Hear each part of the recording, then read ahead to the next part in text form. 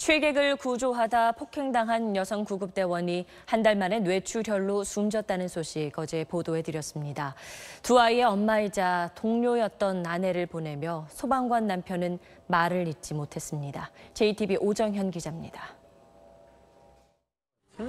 길바닥에 드러놓은 취객을 구조해 병원으로 가는 길. 남성이 저질스런 욕설을 쏟아냅니다.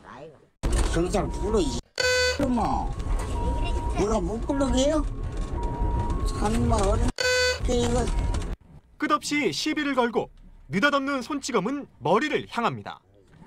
지난달 있었던 이 승강위 뒤 51살 강현희 소방위는 심한 구토와 어지럼에 시달렸습니다. 그리고 한 달이 채 안 돼 결국 뇌출혈로 숨졌습니다. 소방관으로 꼬박 18년 하고도 다섯 달을 헌신했습니다. 나이 쉰을 넘겼지만 20, 30대의 젊은 대원들과 똑같이 현장을 누볐습니다.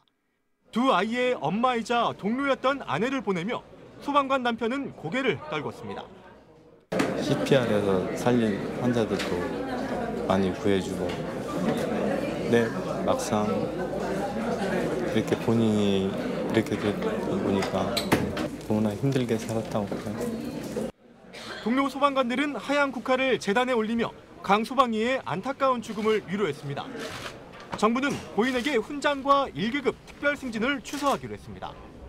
또 국가가 국민이 드릴 수 있는 그나마 고인에 대한 최고 최소 예우가 훈장에 대한 추서가 아닐까 싶습니다. 경찰은 중간 부검 결과만으로는 폭행과 강 소방이 사망 사이의 인과관계를 따져보기 어렵다며 최종 부검 결과 등을 토대로 수사를 진행하겠다고 밝혔습니다. JTB 뉴스 오정현입니다.